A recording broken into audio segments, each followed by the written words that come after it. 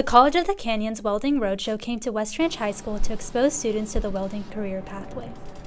There are many careers available to aspiring welders, and that's why Tim Baber is passionate about showing high school students that welding offers more than just dirt and grime. You have choices in the welding industry, and it's not all hot, dirty smoke you take a, a, laser welding technician up at Boston Scientific. They're in a clean room environment all day in a, in a gown in a very, very sterile, very clean, very consistent environment. So it's important that students have those options and so they can choose which direction, which classes that they want to take and figure out how long it's going to take for them to complete.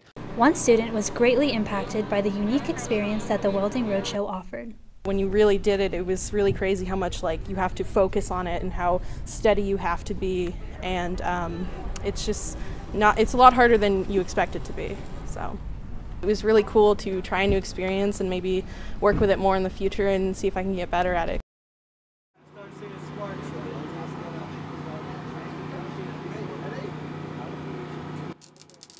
This workshop offered students the opportunity to get hands-on experience and see if it sparks a passion for the welding career. From West Ranch TV, I'm Ananya Mehrotra.